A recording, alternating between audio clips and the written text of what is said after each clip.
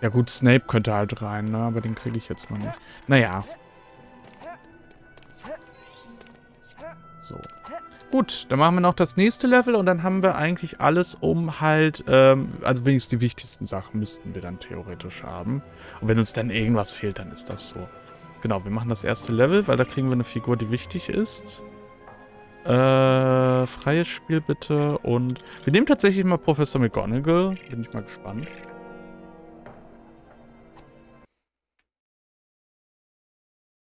Ja.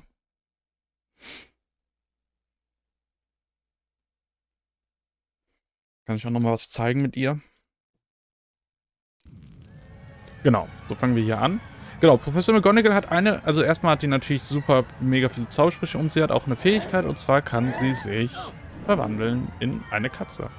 Aber ich meine, sie kann damit nicht graben, oder? Müsste man halt mal ausprobieren. Aber ich weiß halt, um ehrlich zu sein, aber auch nicht unbedingt, ob, ähm, ja, ich sag mal, ob das, äh, nötig hier ist. aber ist ja egal. Ich muss ja sagen, ich habe gestern Teil 6 geguckt von Harry Potter. Teil 6 ist tatsächlich für mich auch immer so einer der schwächeren Filme gewesen. Aber diesmal nein, tatsächlich nicht, nein. Also der, doch, der gibt mir gut Feeling, muss ich sagen. Und ich habe ihn sogar einigermaßen die Fuchsbau-Szene verziehen. Und ich muss auch sagen, ich muss sagen, diese, diese Kitsch-Szene und so, die ich absolut undankbar finde, habe ich ihm auch verziehen. Genau, den Anfang haben wir ja hier nicht machen können, weil ich da leider zu früh eilig war. Voreilig. Ähm und, äh Ich weiß nicht, also der Film versprüht schon viel Feeling. Also es ist halt wirklich so, als hätte man Teil 5 genommen und den mit Elementen aus allen anderen Filmen halt oder generell eigentlich einen Film gemacht, so der halt alle Filme miteinander vereint. Und irgendwie mag ich das. Also ich muss sagen, ich habe da doch riesen Respekt vor. Aber Teil 4 werde ich trotzdem nie positiv sehen. Es ist, das Buch ist kein kitschiges Abenteuerbuch. Ist es nicht. Und im Film tut es auch wirklich nicht gut. Kann man sagen, was man will. Es tut ihm nicht gut. Allein, dass die Musik komplett anders ist. Also ich habe mir jetzt auch die Musik aus Teil 6 nochmal angehört und die ist wirklich viel besser. Der kommt sogar zwischendurch Themes aus den alten Teilen nochmal neu abgemischt oder so hinzu. Aber sehr viele neue Lieder. Also Teil 6 ist wirklich das, was hätte Teil 4 hätte sein können.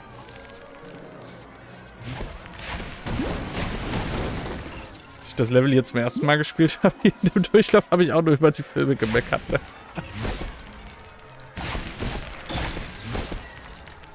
Ja, wir müssen jetzt hier auch nicht so groß auf die ähm, Figuren achten. Also die, also das müssen wir gleich machen, um die 100% zu machen, aber äh, um, um weiter zu War eigentlich wichtig ist es gerade jetzt erstmal nicht, weil wir ja sowieso noch, genau, wir wollen ja so weit wie möglich alles mitnehmen.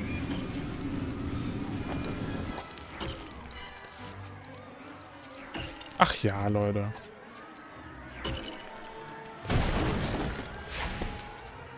Nee, aber auf jeden Fall, wie gesagt, dadurch hat sich Teil 6 doch jetzt äh, einigermaßen zum guten Film gemausert. Also es gibt Sachen, die mir nicht gefallen.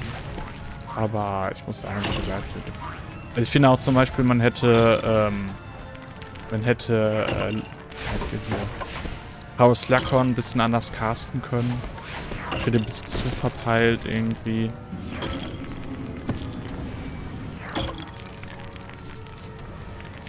nicht. Also gibt es, glaube ich, ein paar Leute, die ich ein bisschen interessanter in der Rolle gefunden hätte. Aber, aber ich würde jetzt auch nicht groß sagen, kommt der ist mega schlecht gecastet. Der Schauspieler macht einen super Job und... Äh, obwohl ich wirklich sagen muss, ich habe den jetzt auf Englisch zum Beispiel auch mal wieder geguckt und die deutsche Synchrostimme von Haus Lackon mag ich halt nicht.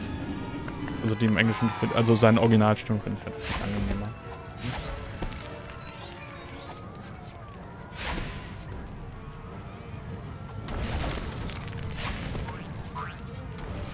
Aber naja. Machst halt nichts.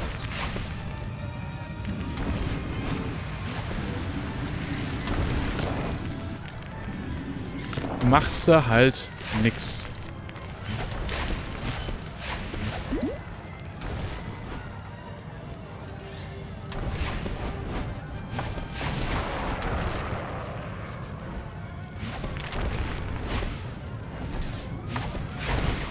Hey! Ich noch geprügelt. Frechheit. Will hier das Geld voll kriegen. Guck mal, wie langsam wir das voll bekommen. Schon krass. Was das?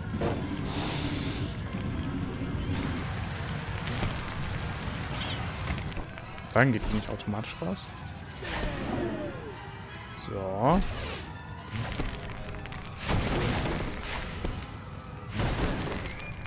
Das will ich auch gerne kaputt machen. Danke. Ausgezeichnet. Hier brauche ich dunkle Magie. Okay. Schade. Hätte ja zu schön werden können. Ja, wir sammeln das trotzdem ein, weil wie gesagt, äh, wenn wir sowieso in Hogwarts sind, da kriegen wir danach hier alle Nachrichten, wo was ist. Und dann hätten wir hier aber schon mal die wichtigsten Sachen so einigermaßen.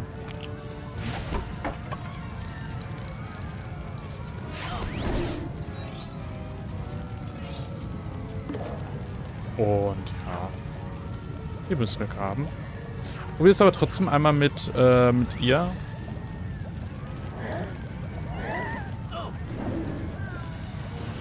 Ja, krass.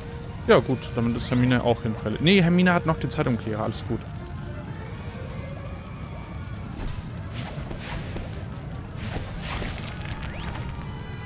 Hermine hat noch den Zeitumkehrer, den guten. So, der kriegt jetzt noch die Pfanne gegen den Kopf. Klatsch.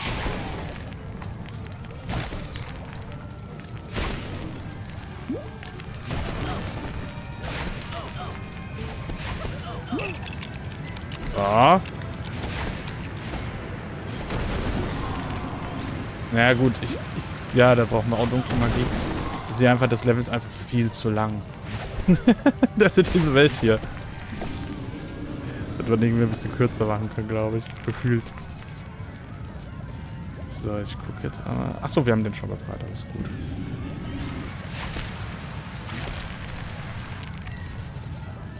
Ich muss ja gucken, nicht, dass ich jetzt hier irgendwie was ähm, zu viel oder zu wenig mache. Besonders Fred und George, ne? Die, äh... Ich habe ja letztes Mal gedacht, Harry ist irgendwie separat, aber nein, die gehören alle zusammen. Äh, achso, nee, Entschuldigung, Harry ist separat. Ich dachte, die gehören alle zusammen. So rum. ja, ist schön in Ruhe mal gemacht.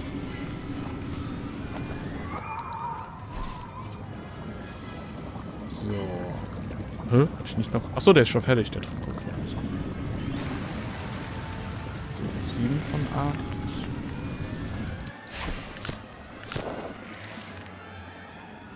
8. Ähm...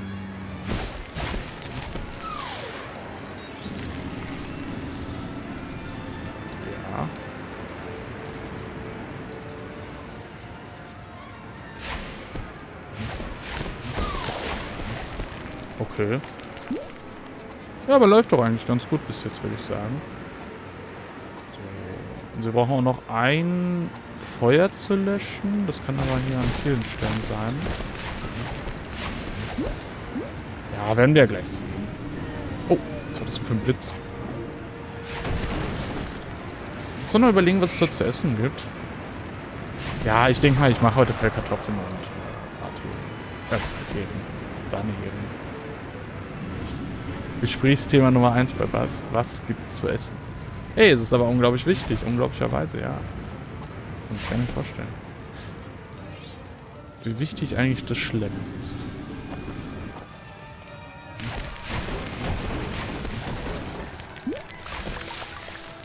Man muss ja auch Prioritäten setzen, wie es so schön heißt. Mal ab.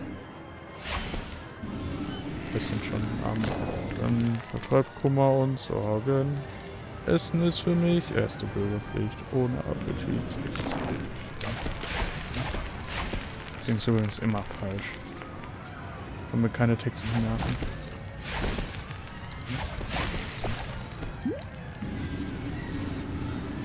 Also ist das halt. Ist das halt.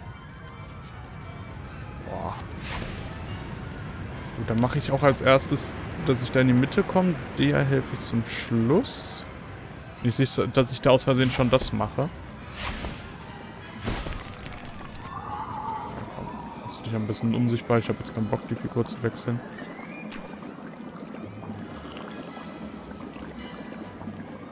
Kann ich Dinger noch hier kaputt zaubern?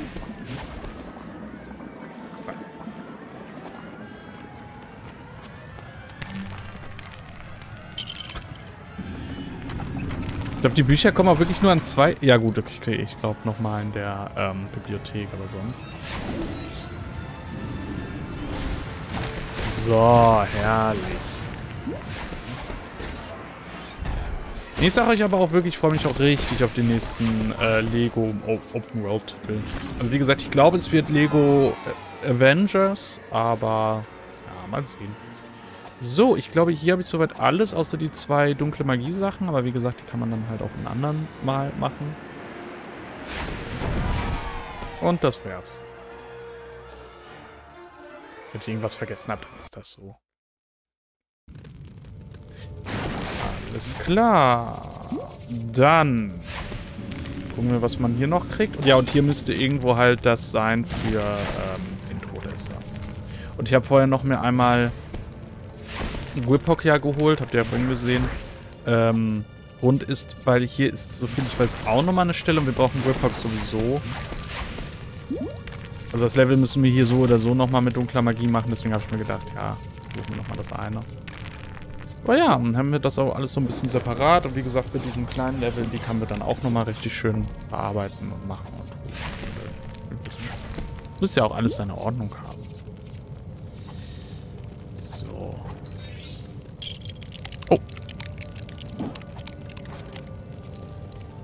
Alles klar. Mach ich das schon mal offen hier.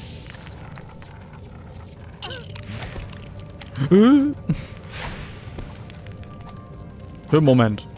Ach, jetzt sind alle dabei. Okay, weil, äh, das, das, war, das war ja irgendwie beim normalen Level nicht. Sonst hätte ich ja schon hier Barty geholt. Weil ich glaube, dafür brauchst du auch nur, ähm, den Zauber von Mr. Weasley. Also, oder beziehungsweise nicht den Zauber von Mr. Weasley, also dieses Reduktio. Sachen kaputt gehen halt. Aber so ist das halt manchmal. Ja.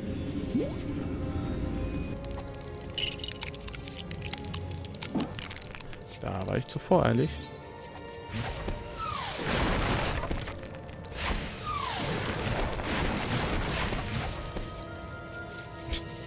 Wie die sich auch da fühlen müssen, wenn jetzt die Professor McGonagall hier ist.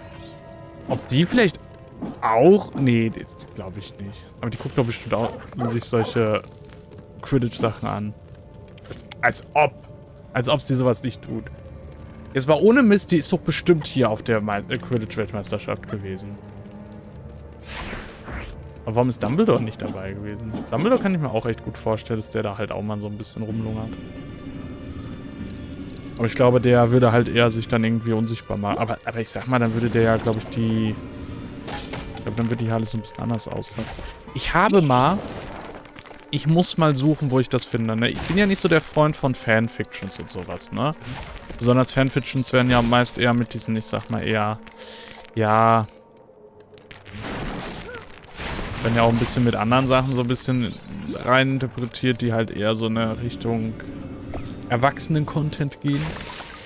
Ähm, aber Fanfictions sind ja auch zum Beispiel so Sachen wie, oh, was ist denn wohl da und da passiert oder, ähm, was weiß ich.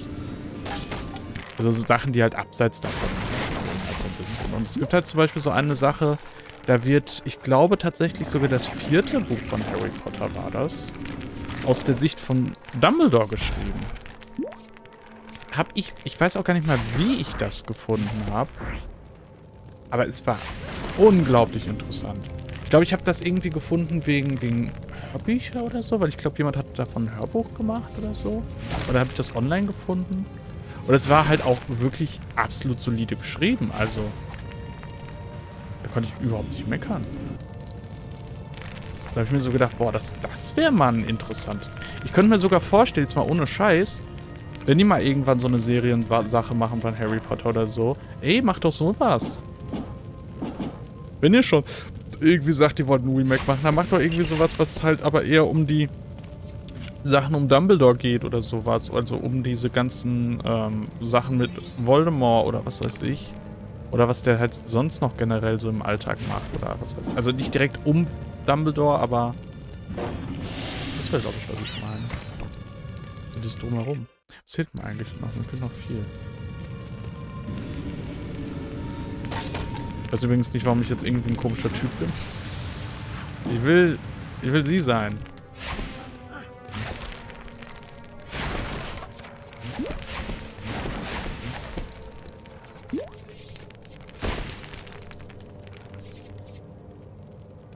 ich weiß halt auch immer noch, das heißt ja die ganze Zeit, es kommt eine Serienumsetzung von Harry Potter.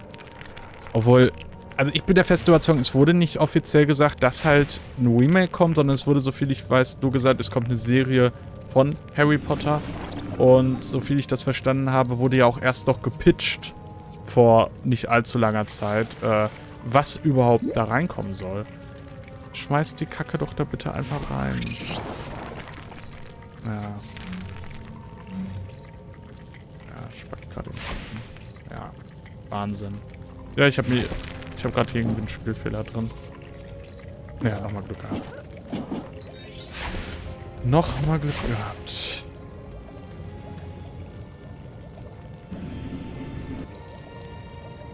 Aber naja. Also bis da irgendwie was offiziell gesagt wird, glaube ich Weil, also wenn die wirklich die Filme neu machen würden... Ich glaube, es wäre ein Misserfolg. Also würden viele gucken, aber es ist einfach zu früh. Bringt irgendwie was anderes raus. Bringt aber kein Remake raus. Glaubt mir, macht das nicht. Weil da hängen viel zu viele Leute dran. Die werden viel zu wütend sein. Und ich rede nicht von irgendwie einem Remake von einem Film, was der irgendwie 40 Jahre alt ist oder sowas, sondern rede wirklich von der Seite. Harry Potter ist erst vor ein paar Jahren zu Ende. Ja, der erste Film war schon vor 20, über 20 Jahren, aber trotzdem 20 Jahre für ein Film-Remake. Komm, Zumal die, die Reihe lief ja auch ewig.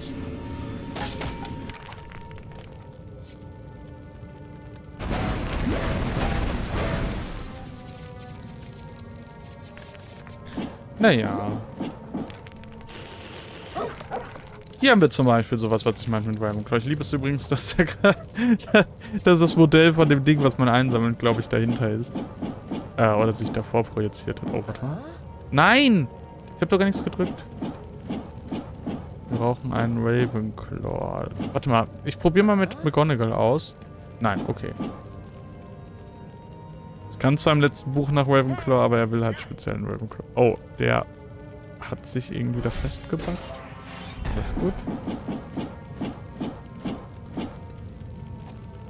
Ja, im äh, siebten Teil, da gehen die ganz kurz nach Ravenclaw in den Turm, also Harry zum Beispiel. Den Endkampf müssen wir übrigens nicht machen. Weiß auch gar nicht, ob der rechts... Nee, der ist nicht mehr. Weil im Endkampf ist doch so viel, ich weiß, gar nichts gewesen. Und wenn doch, dann werde ich das sowieso beim nächsten Durchlauf nochmal sehen. Oder? Ja doch, ich will da einmal hin. Ich will einmal gucken, nicht, dass ich da irgendwie was verpasse. Und dann habe ich schon irgendwie im ersten Bereich 100%, weil hier habe ich jetzt auch nichts mit dunkler Magie gesehen. So. Und dafür waren wir hier, für Bartyquad Junior. Weil der ist dunkler Magier. Mit dem können wir arbeiten. Und schon wieder der Fehler. Jemand, der stark ist? Nö. So, gucken, ob wir Hagrid kaufen können. Oder Krumm oder so. Ich glaube, Krumm ist auch stark.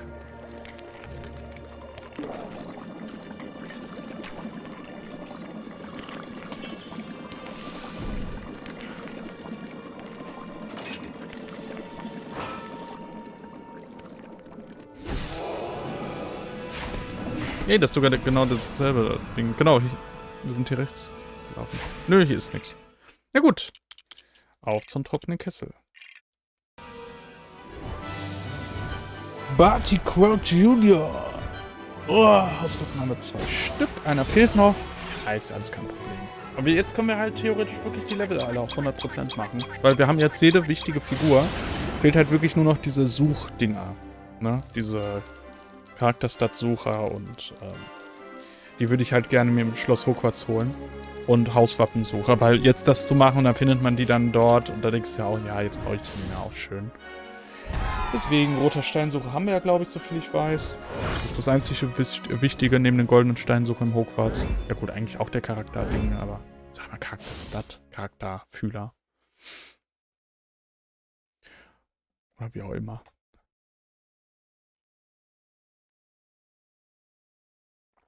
Ja. Nee, bin froh. Bin ich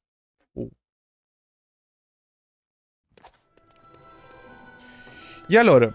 Damit hätten wir jetzt alle Level, äh, oder beziehungsweise die beiden Level, wo wir die Figuren kriegen, die ich brauche, durch.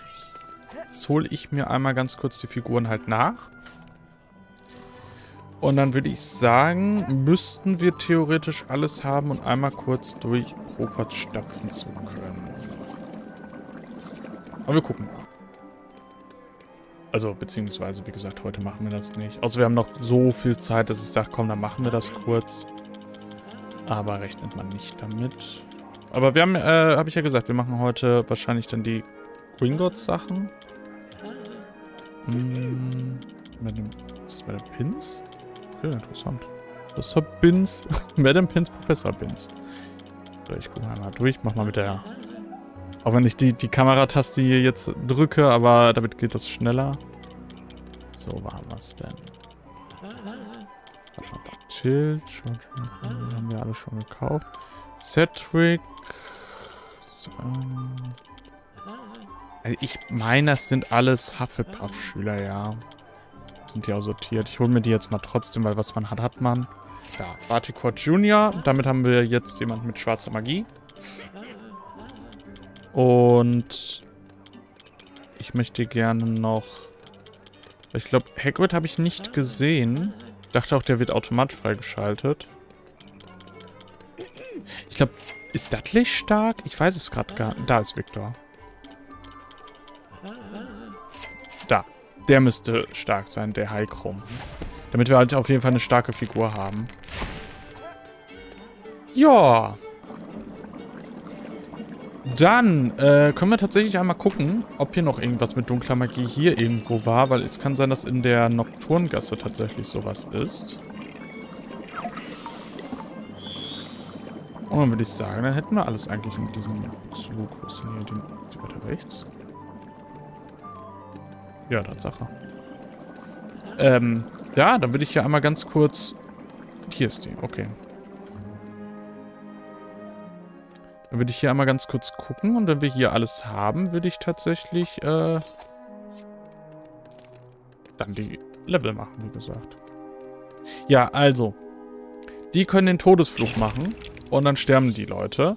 Und hier meine ich die äh, Respawn-Details. Aber in Hogwarts meine ich nicht. Deswegen, ich habe die damals alle gekillt und dachte mir so, haha, lustig. Und dann irgendwann so, Moment, so lustig war das gar nicht. Oh, hier haben wir einen kleinen Bug. Aber interessant. Ja, ich weiß nicht, ob hier was war. War nur Geld. Okay, alles gut. Ist ja nicht wichtig. Ja, dann würde ich sagen, dann auf zu äh, Gringotts. Ich dachte, hier war noch irgendwie was versteckt. Ja, ist ja egal. Tada!